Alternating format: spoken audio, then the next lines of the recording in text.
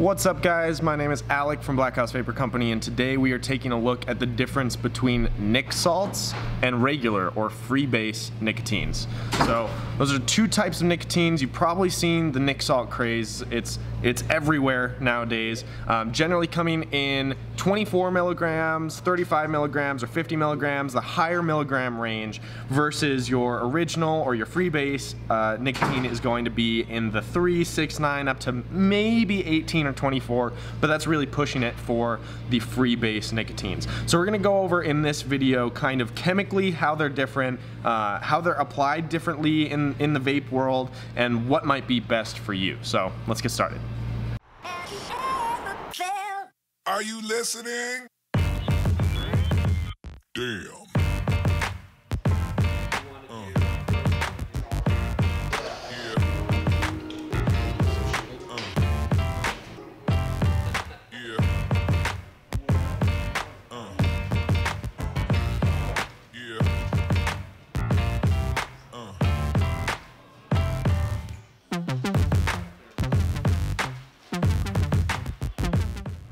All right, so let's start with the chemical differences between nic salts and freebase nicotines.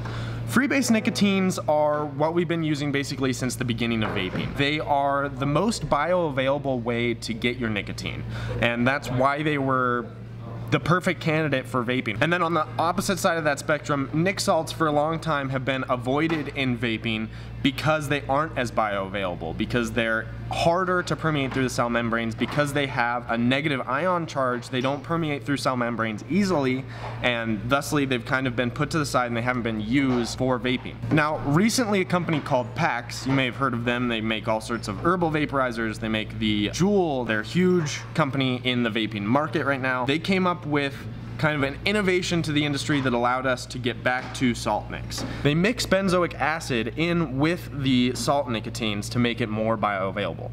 The salt nics allow us to reach higher nicotine levels in our vape juice without the throat hit that you would get with freebase nicotine. With freebase nicotine, because it's so volatile, as you add more nicotine in, you're gonna feel it a lot more. Okay, so I, I kind of morphed pretty quickly from the chemical side of things into why we would want to use salt nics as opposed to your freebase nicotines. So let's get into, at this point, the application of these two different types of nicotines.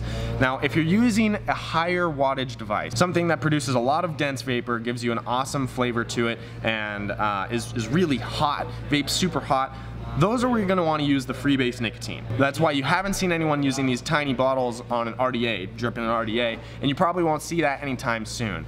It's because for higher wattage devices, freebase nicotine just makes more sense. It vaporizes well at a much wider temperature range, meaning you can push the boundaries of vaporizers, you can get more flavor, you can get more vapor density, uh, and you cannot have an overwhelming amount of nicotine entering your body. So that's where freebase nicotines come in.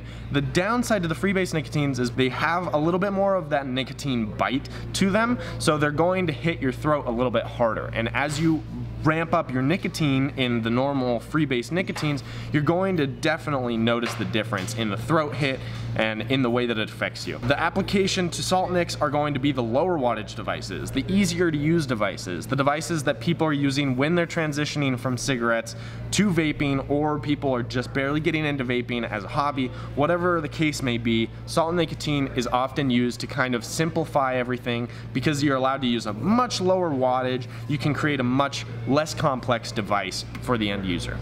All right, guys, so freebase versus nic salts. Which one do you prefer? Let me know in the comment section down below. Give this video a like if you liked it, and don't forget to subscribe to our YouTube channel. Check out blackhousevapor.com for all of these flavors that you saw in this video, many more flavors, devices, anything that you can think that you would need for your vaping experience, you can find at blackhousevapor.com.